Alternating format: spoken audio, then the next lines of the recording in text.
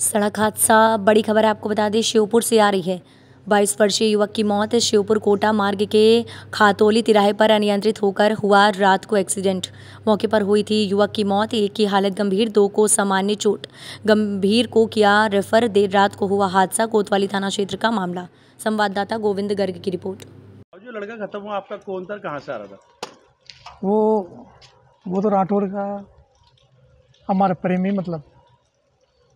वो टनी खोलने गए थे जाट जा ये अपना जाट को मोरी जाट को मोरी से आ रहे थे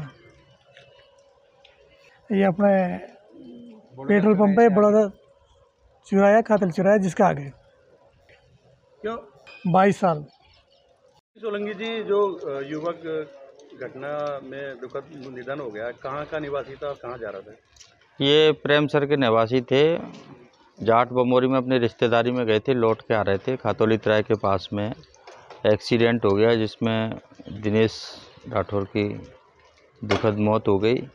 एक अभी नरेंद्र है, नारायणपुरा का।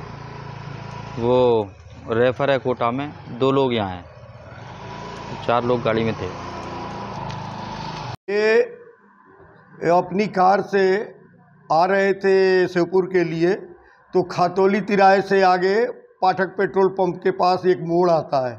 मोड़ पे गाड़ी अनियंत्रित होकर पलट गई, जिसमें से ये तीनों घायल हो गए थे।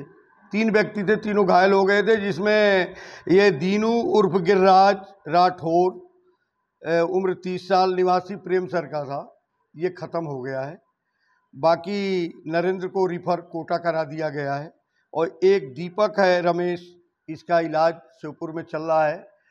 ये परिवारजनों को बुला, बुलाकर और इनका जो यहाँ पीएम करवाया गया है जिला अस्पताल में और अंतिम दाह संस्कार हेतु इनके परिवारजनों को सुपुर्द की, कर दी गई है लाश।